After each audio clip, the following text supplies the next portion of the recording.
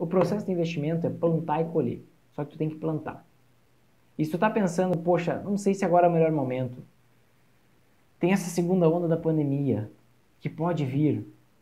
Poxa, se não for agora, é quando? De, quando se não tiver uma segunda onda de pandemia, ou quando passar, se tiver. Poxa, os investimentos, as ações agora estão muito caras. Vou esperar ter uma correção, vou esperar ter uma queda. Aí vem uma queda. Não, agora a gente está no meio da queda. Vou esperar pelo menos as coisas melhorarem um pouco. Aí as coisas melhoram, ah, agora está muito caro. Entende? Tu vai ficar sempre empurrando com a barriga, sempre postergando. A hora de começar é agora. Assim como a agricultura, os investimentos são cíclicos. Diferente de lá que tu não consegue prever. Por isso tem que saber te expor aos investimentos. Tu não tem como saber o que é que vai ser bom agora. Agora, tu vai plantar tudo. Tu vai plantar milho, soja, trigo, tudo isso. Alguma coisa vai dar bom ali. O que der bom, tu colhe. O que não. E aí, fruto dessa colheita aqui, tu vai ter mais dinheiro no bolso.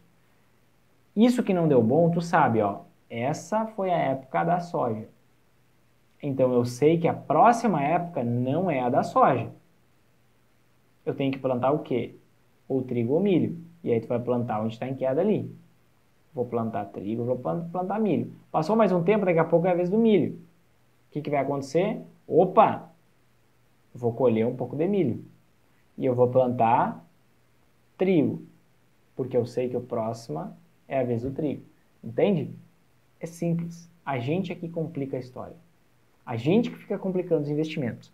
Ou eu opto por ganhar dinheiro ou por estar certo. Se eu quiser ganhar dinheiro e me blindar das quedas, é só eu usar muito parecido com a agricultura, com uma rotação de cultura, só que na verdade eu vou plantar todos os grãos ao mesmo tempo porque eu não sei qual é a época de cada grão.